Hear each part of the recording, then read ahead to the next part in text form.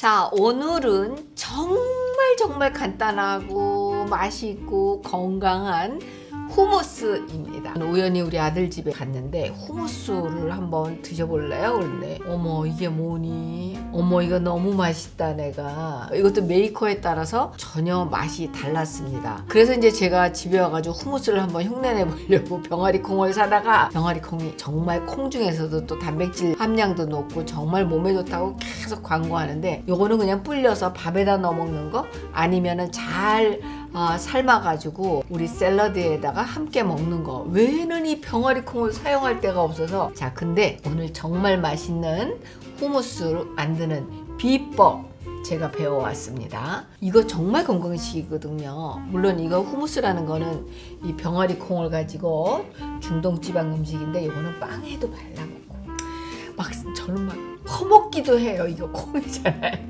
자, 근데 재료도 간단합니다. 만들기도 쉽습니다. 우선 집에 병아리 콩이 있으시면은 한 500g 정도를 아, 내일 아침에 하자. 그러면서 저녁에 물에다가 담가 놓으세요. 그리고 아침에 일어나 가지고 요 콩을 한 요게 아, 우리나라에 수입한 지가 오래돼서 그런지 원 콩이 이렇게 딱딱한 건지 모르겠지만 한 30분은 삶아줘야지 이 콩이 말랑말랑해집니다. 요 정도로 제가 먹어볼게요. 요 정도. 그냥 먹기 좋은. 근데 이게 그냥도 잘 안 먹어져요. 그래서 삶으실 적에 약간 소금을 넣고 삶으면 양이 혹시 불어서 많아져도 샐러드에다 넣어서 드시고 밥할 때 위에다가 착 뿌려서 먹어도 되고. 또 애들이 또 콩콩 싫다 그러면 약간 다져서 넣어주면 애들이 잘 먹습니다. 요거는 한 30분 정도 어, 끓여서 소금 약간 넣어서 먹으면 지금 제가 또 이렇게 먹어보면 간이 있어요. 그래서 그냥 어, 뭐 나 중간에 뭐 간식을 좀 먹고 싶어 이럴 적에 살짝 이 콩만 먹어도 사실은 맛있어요. 오늘 재료 소개하겠습니다. 오늘은 병아리콩, 그 다음에 큐민 들어갑니다. 큐민 들어가고요. 그 다음에 이 훈제된 파프리카, 파프리카, 약간 구운 파프리카죠. 그리고 요거는 뭐냐? 요 콩을 삶은 물입니다. 삶은 물 절대 버리지 마세요. 요 한 200ml 정도 남겨 놓으세요. 요거는 100ml인데 200ml 정도 남겨 놓으셨다가 요거 어디에 사용하는지 이따 알려드리겠습니다. 그리고 이제 올리브유에 빠진 마늘 그리고 요것이 무엇이냐? 요거는 비법이니까 마지막에 알려드리겠습니다. 끝까지 보시라고. 레몬이 한 개 들어갑니다. 고수를 저는 참 좋아하는데 여러분들 어떠신지 모르겠어요. 고수 싫어하시는 분은 안 넣으셔도 됩니다. 그러나 나는 이 고수를 한번 도전해 보겠다 라든가 아주 좋아한다 그러면은 콩과 함께 고수를 함께 사용합니다. 고수 사용하면 진짜 맛있어요. 도전해 보세요. 이거 중독성 있어요. 정말 맛있습니다. 그리고 후추, 소금, 그리고 이번에는 이제 어, 먼저는 우리가 그로살 사용했잖아요. 이번에는 피코알입니다. 어, 올리브유는 어떤 게 좋으신지 알죠? 산도가 0.1 이하의 것이 가장 좋으신 거고요. 요거 시중에서 조금 비싸 그러면 한 0.2 정도까지도 괜찮습니다. 아, 산도가 그 이상인 거는 뭐 굳이 권해드리고 싶지 않습니다. 그리고 먹었을 적에 약간 칵 하고 먹어서 이거 무슨 매운맛? 이럴 때 산도가 가장 좋은 거라고 합니다. 어, 본인이 가지고 계신 올리브유 사용하시는데요. 향이 어, 지난번에 우리가 사용했던 거하고 요거하고는 또 달라. 요거는 채소에 사용하는데 아주 푸른 신선한 푸릇푸릇한 그런 향이 나는 겁니다. 자, 다 소개 드렸죠?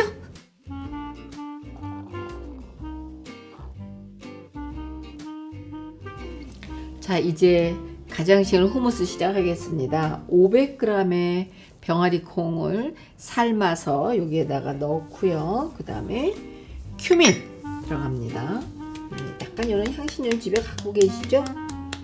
큐민이 맛이 되게 괜찮아요. 요만큼. 그 이제 요것도 먹어보면서 나중에 가른 다음에 더 넣으셔도 됩니다. 그리고 이제 어, 우리 올리브유에 빠진 마늘 조금 한 요 스푼이 한 3, 15ml 정도 되니까 요 정도 하나만 넣겠습니다. 자, 그리고 이제 아 여러분 고수 좋아하세요? 고수 좋아하는 사람들은 정말 좋아하시는데 또 약간 나는 이거 이런 향 싫어 하시는 분들 넣지 않으셔도 돼요. 그러면 그냥 병아리콩 후무스가 되고요. 제가 하는 거는 고수를 제가 너무 좋아하기 때문에 고수를 저는 넣겠습니다. 자, 고수를 좀 넣고요. 아주 쉬워요. 네. 그리고 어떻게 합니까? 한 뭐 소금을 한 두 꼬집이나 뭐 정도 넣고 요것도 나중에 간이 안 맞으면 조금 더 넣으세요. 네. 자 그리고 중요한 거 올리브유입니다. 올리브유는 50ml 들어갑니다. 이런 올리브유를 좋은 거를 써야지 사실은 아, 진짜 맛이 달라지더라고요. 아무 올리브유 쓰면 조금 그렇고 저는 조금 내 몸을 위해서 조금 나가서 사 먹는 값 조금만 모으면은 조금 괜찮은 비싼 좋은 올리브유 쓰실 수 있습니다. 50ml 들어갑니다. 자 이렇게 50ml 넣고요. 그 다음에 여기에다 아 이거 남아있는 올리브유 약간 아까워. 그러면은 레몬을 아까 한 개 짠 거를 같이 해서. 아 무척 아까워가지고 제가 자 넣고 이제 재료 거의 다 들어갔는데 제가 비법 알려드린다 그랬잖아요. 잘 들으세요. 요거 비법입니다. 요게 무엇일까요? 요거는 참깨 갈은 겁니다. 뭐 중국 참깨도 있고 한국 참깨도 있지만 여러분 집에 있는 참깨를 요거 얼- 몇 미리그램이라고 할 수 있나? 한 50ml 정도? 아니면 뭐 더 많이 넣어도 그거야 뭐 더 맛있어지니까 여러분 형편껏 하세요. 음. 자, 참깨를 이렇게 어, 갈아서 깨소금을 만들어 가지고 우리가 얘기하잖아요 깨소금만 깨소금을 넣습니다. 자, 이렇게 해서 이제 어떻게 하느냐? 아, 이제부터 너무 어려운데. 참, 자, 제가 이 어려운 방법을 이제 보여드리겠습니다. 자, 올리브 요향 나가기 전에 문 닫고, 자, 요거 정리하고, 그리고 요것을 어떻게 하는지 보여드리겠습니다. 약간 병아리콩 삶은 물을 넣습니다.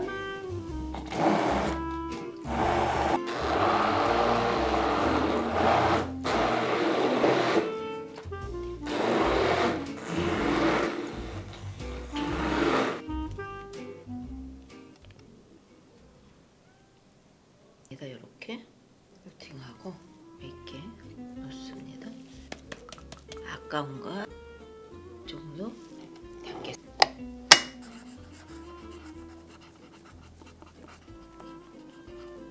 자 간단하게 만들었지만은 이 후무스를 어떻게 먹느냐. 물론 빵에다가도 먹을 수도 있고 그거는 자기 식성껏 드시면 됩니다. 근데 여러분 다이어트 좋아하시잖아요. 다이어트 할 때 뭐 먹지 아 채소만 먹으면 단백질이 부족하고 단백질만 먹으면 또 탄수화물이 부족한 것 같고 늘 그러다 보면 다이어트가 안 되는데 오늘 이 후무스를 야채랑 먹으면 찰떡이랍니다 자 제가 후무스를 당근에다가 찍어 먹어보겠습니다. 제가 당근을 이렇게 좋아하는 사람이 아니에요. 근데 한번 먹어보겠습니다. 당근 맛을 잘 모르겠는데 후무스 맛 때문에 음, 음, 샐러리 먹어보겠습니다. 다이어트 메뉴 하나 생겼어요. 음, 맛있어. 이거 하나 만들어 놓으면 뭐 정말 행복하겠는데요. 또는 아내들이 다이어트 해야 된다 할 적에 남편분들 요거 하나 만들어 가지고 와이프 이렇게 도시락 싸주면은 사랑받을 겁니다.